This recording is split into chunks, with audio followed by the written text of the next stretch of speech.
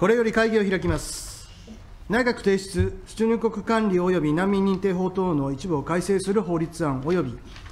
出入国管理及び難民認定法及び外国人の技能実習の適正な実施及び技能実習生の保護に関する法律の一部を改正する法律案並びに、椎名武志君ほか9名提出、外国人一般労働者雇用制度の整備の推進に関する法律案の各案を議題といたします。この際、各案審査のため、昨13日、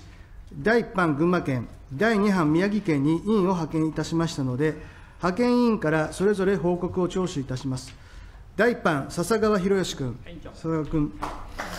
えー第1版として、えー群馬県に派遣された委員を代表いたしまして、えー団長に代わり、私からその概要をご報告申し上げます。えー派遣要員は、あ武部新委員長を団長といたしまして、えー米山隆一君、池下拓君、中曽根康隆君、平口博君、鈴木陽介君、えー、見留照夫君、うー草加正樹君、私、笹川博義の9名であります。えーまず、高崎市内において三振工業株式会社を視察し、特定技能外国人2名及び技能実習生1名を含む関係者から、えー説明を聴取いたしました。えー次いで、えーホテルグランドビュー高崎において、意見陳謝の方々との会議を開催いたしました。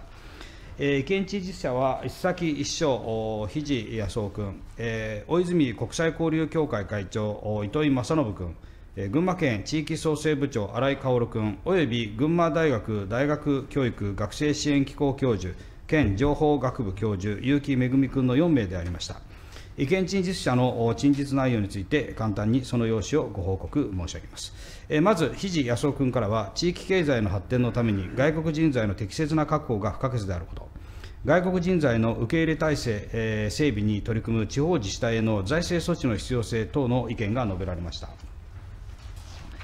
え次に糸井正信君からは、あ外国人住民を地域の生活者として捉えた共生事業の取り組み、外国人児童に対する日本語学習支援の体制整備の必要性等の意見が述べられました。次に新井薫君からは、群馬県の多文化共生、競争の取り組み、国と地方自治体の連携による不法滞在、不法就労者対策の必要性等の意見が述べられました。最後に、えー結城めぐみ君からは、多文化共生社会の実現のため、日本人の意識と行動を啓発する必要性、外国人材の承認欲求、自己実現欲求を満たすことにより、地方への定着を促す取り組み等の意見が述べられました。えー次いで、各委員から意見陳述者に対し、司法就労継続を希望する外国人及び受け入れ企業に対する地方自治体の支援、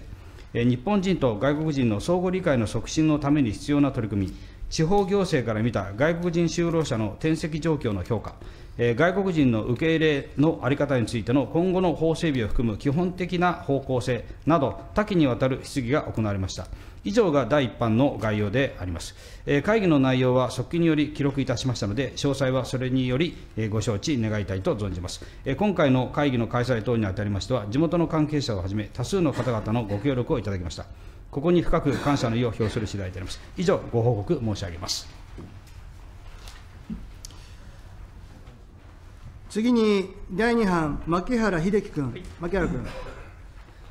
えー第第2版として、宮城県に派遣された委員を代表いたしまして、私からその概要をご報告申し上げます。派遣委員は、私、牧原秀樹を団長として、道下大輝君、大口義則君、稲田智美君、土井徹君、山田美希君、鎌田さゆり君、安倍博樹君、および本村信子君の9名であります。まず、石巻市内において、株式会社安倍町商店グループの渡礼を視察し、技能実習生2名を含む関係者から説明を聴取いたしました。次いで仙台市内の仙台国際ホテルにおいて、意見陳述者の方々と会議を開催いたしました。意見陳述者は、宮城県農業協同組合中央会代表理事会長、佐野和夫君、萩協同組合代表理事、千葉健二君、宮城県社会保険労務士政治連盟会長、須田直樹君、および福島大学行政政策学類教授、坂本めぐみ君の4名でありました。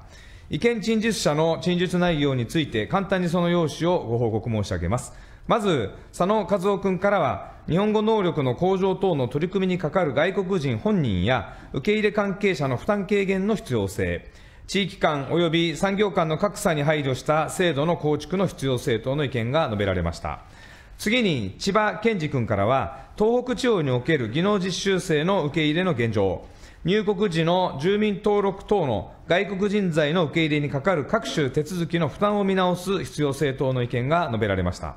次に、須田直樹君からは、ビジネスと人権の観点から見た技能実習制度の問題点、管理支援機関における外部監査人要件の厳格化の必要性等の意見が述べられました。最後に坂本めぐみ君からは、日本に来る外国人労働者が今後減少することを見据えた施策の必要性、外国人が来日前に送り出し機関に支払う手数料の在り方等の意見が述べられました。次いで各委員から意見陳述者に対し、育成就労制度に対する期待と懸念、育成就労外国人に対してスキルアップの道筋を提示する必要性、育成就労制度及び特定技能制度における家族帯同の在り方、送り出し機関に支払われる手数料等の費用の状況、外国人労働者の定着のための職場環境整備の必要性など、多岐にわたる質疑が行われました。以上が第2版の概要であります。会議の内容は速記により記録いたしますので、えー、詳細はそれによりご承知願いたいと思います。今回の会議の開催にあたりましては、地元の関係者をはじめ、多数の方々のご協力をいただきましたので、ここに深く感謝の意を表する次第でございます。以上、ご報告申し上げます。以上で派遣委員からの報告は終わりました。お分かりいたします。ただいま報告のありました第1版および第2版の現地における会議の記録は、本日の会議録に参照掲載することにご異議ありませんか？ご異議なしと認めます。よってそのように決しました。引き続きお諮りいたします。本案、各案審査のため、本日政府参考人として、出入国在留管理庁次長、丸山秀治君、国税庁長官官房審議官、植松俊夫君、文部科学省総合教育政策局社会教育振興総括官、八木和弘君、厚生労働省大臣官房政策立案総括審議官、青山恵子君、厚生労働省大臣官房年金管理審議官、辰巳真一君、厚生労働省大臣官房審議官、増田史郎君、厚生労働省大臣官房審議官、原口剛君、水産庁漁政部長、山口純一郎君、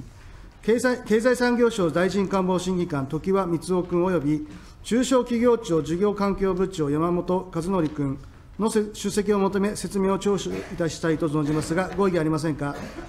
ご異議なしと認めます。よってそのように決しました。質疑の申し出がありますので、順次これを許します。平口博君、平口君。はいえー、自由民主党の平口博でございます、えー、質問の機会をお与えいただきましたことに大変感謝をいたしております。それでは早速質問に入りたいと思います。まず、立憲民主党さんにお伺いしたいんですが、えー、育成就労について、えーまあ、あの立憲民主党の案では、ハローワークというものをあれば十分で、え管理支援機関不要であるというふうにおっしゃっておりますが、これはなぜでしょうか？司法提出者、道下大臣。えー、ご質問ありがとうございます。えー、今、平口委員からご質問あった件でありますけれども、え、外国人、え、技能実習制度については、あこれまで悪質な民間ブローカーによる関与が技能実習席に対する深刻な人権侵害を生じさせてきた原因の一つであったと指摘されておりますし、また来日前の高額な手数料負担ということもですね、で借金を背負わされるということも大きな問題であるというふうに、認識されております。したがって、制度の根本的な見直しのためには、まずはこの問題に真正面から取り組むことが不可欠だと考えております。このため、立憲民主党案は、認定雇用機関と外国人労働者との雇用契約にあたっては、管理団体などの民間の職業仲介機関ではなく、ハローワーク等の公的機関が中心となったスキームを構築することなどの措置を講ずることとしております。えなお、えマッチング以外に管理団体が担ってきた入国後の研修については、政府がそのためのハード面およびソフト面での体制や基盤整備の支援を行うこととするとともに、外国人労働者の雇用主となる認定雇用機関において、責任を持って研修実施に関する取り組みを行うことを想定しているところでございます。以上です。平口君。まあ、あの悪質ブローカーの排除といったような観点から、えハローワークが直接ことに当たるということでございますけれども、えこの点については、政府案の方はどのようにお考えでしょうか？小泉法務大臣。あの育成就労制度における管理支援団体、これはあの多種多様な役割を果たすことを期待されております。あの雇用契約の成立の斡旋から始まって、育成就労の実施に関する管理、入国後の入国後の講習の実施、転籍の申し出があった際の連絡調整、まあ、などなど、あのいずれもですね、身近で実情に応じて、きめ細かく、まあ、生身の人間でありますのでね、相手が、きめ細かく対応する必要がある、まあ、そういう業務が種々、多様なものがあの予定されております。まあ、したがってこれ、公の機関で担えるかというと、非常にも大きなこう負荷がかかってくる。まあ、あくまでやはり民間の管理支援機関に担当してもらうことが合理的である。我々は考えているところであります。仮にこれを公的な機関、国や公的な機関が担うとなれば、まず膨大な人員、予算、そして新しい仕組み、機構、そういったものを作り上げるのに、まあ、何年もかかるかもしれない、まあ、そういうことがあります。ですから、あの管理支援機関のその行動を是正する必要は強くありますが、存在をそのものを否定する必必要性、適切性、相当性はないと、我々は判断しております。平口君。まあ、あのきめ細かなあ対応を、おまあ、即時にしていく必要があるということで、えーございますので、まあ、こそこの考えも、えー正しいかと思いますけれども、まあ、その際には悪質なブローカーが介在することがないように、えーご注意いただきたいと思います。えーそれからあの通告したのをちょっと順番を変えまして、えー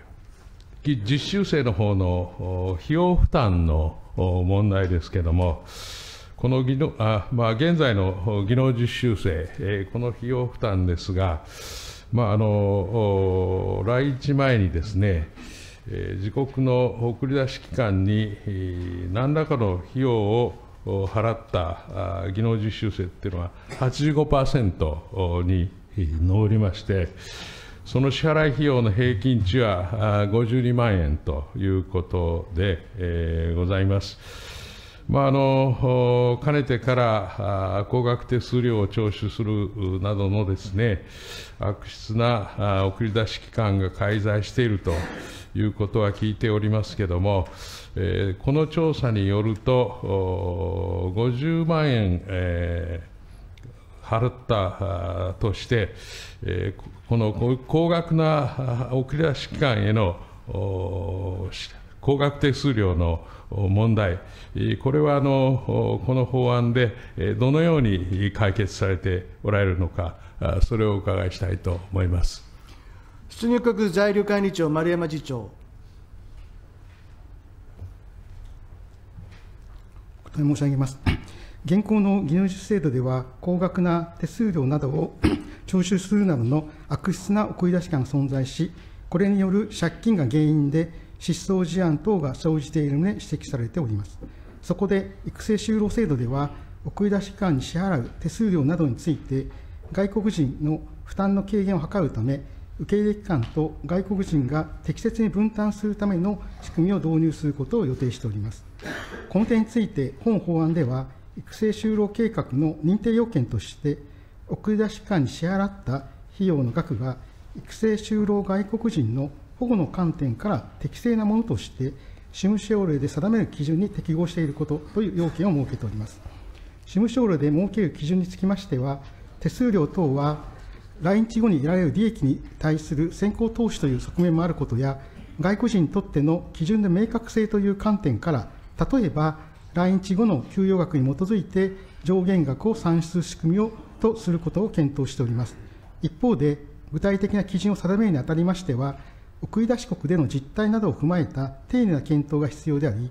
また送り出し国の法令との関係の整理も必要なことから、法案成立後、施行までの間に、関係者や有識者のご意見等をお聞きしながら決定してまいりたいと存じます。平口君。まあ、あのいずれにしても、送り出し機関への高額手数料の問題、それでこれを借金してくる方も多いわけでございますんで、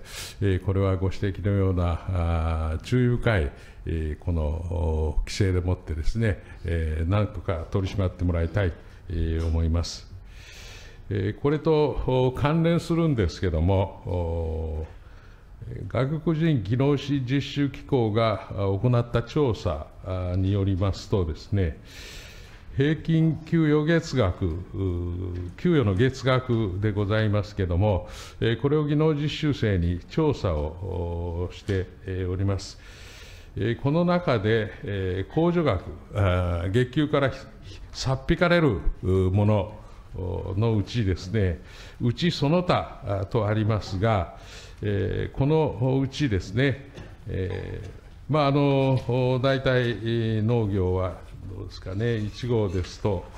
えー、540円とか、え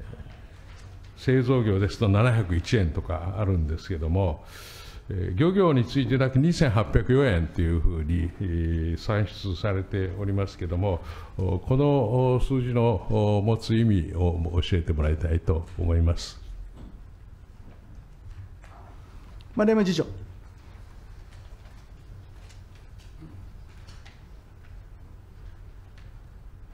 お答え申し上げます。ただいま、委員からご指摘がございました金額につきましては、実習実施者が外国人技能実習機構に対して提出している実施状況報告書に記載された金額をもとに算出しているところです。当該報告書において、食費、居住費、税、社会保険料以外の控除額をその他として記載することを求めておりますが、その他の内訳について記載するよう求めていないことから、その他の内訳についてご説把握し、ご説明することが困難でございます。平口君。まあ、あのその他ということで、えーまあ、こういうふうに、えー、調査をしたからしょうがないんですけれども、まあ、これだけですね、えー、高額なですね、えーまあ、例えば3000円ですと、月3000円だと年に3万6000円、10人あれば36万円という大きな数字になるものですから、これはその他じゃなくて、えー、個別にきちんと表示表示をしてですね、えー、何に使っているかということを明らかにしていただきたいと思います。まあ、あのこのようなですね、えー、凸凹っていうんですか、あまあ、デコ、大きい方が問題なんですけれども、このようなことをなくすためにですね、えー、漁業については、どのようなことを考えておられるのか、あ教えてもらいたいと思います。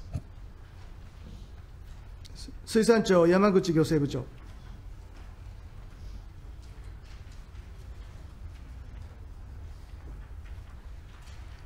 お答え申し上げます。え、まずあの、その他の内訳につきましてでございますが、水産庁といたしましてもですね、これに、えー、何が含まれているかということは承知をしておりません。えー、ただあの、えー、技能実習の漁業分野につきましては、えー、漁業技能実習協議会の決定に基づきまして、えー団体えー、管理団体が労働組合と協議して、技能実習生の待遇を定めるということになってございます。この待遇を具体的に定める労働協約に基づきまして、組合費を徴収している事例があるという点は承知してございます。この個別の労働組合において、その組合費から組合員から徴収する組合費の水準につきましては、水産庁として意見を申し上げる立場にはございません。その上で、漁業者が労働組合員のその組合費に相当する額を給与から控除して労働組合へ支払うということにつきましては、労働組合及び管理団体による個別の労働協約により合意決定されているものと承知してございます。でこういった仕組みでございますが、えー、漁業につきましては、失踪や海上での労働災害など、漁業特有の問題があったということもございまして、え、過去からの経緯で構築されてきたという経緯があるものと承知してございます。えいずれにいたしましても、漁業分野における育成就労制度の具体的な仕組みにつきましては、今後、検討がされていくものと考えてございます。平口君。まああの創設時にはそういうふうな問題もあったかと思いますが、現在では外の外国人技能実習機構などがきちんと機能しておりますので、えーこのこのようなですね、えーまあ、あ貧乏なあ技能実習生からさらにお金を取るというようなことはやめてもらいたいと思います。それと、次にですね、えま真面目に日本語学校に通う外国人留学生、まあ、技能実習生じゃなくて、え日本語学校に通う外国人留学生、というのがですね、え卒業後、育成就労を希望する場合、まあ、あの技能実習生とはとなろうとすると、一旦帰国する必要があるわけで、ございます。まあ、あの現在は留学生が技能実習生を志そうとすると、一旦帰国する必要があるということで、ございますけれども、まあ、これこれで、えーさらに技能実習でまた日本に来るというふうなことはですね、えやや無駄じゃないかというふうに思うわけでございますけれども、この帰国しなくてもですね、育成就労外国人となる構図はあ考えられないかどうか、あこれについてお答えをお願いしたいと思います。丸山次長。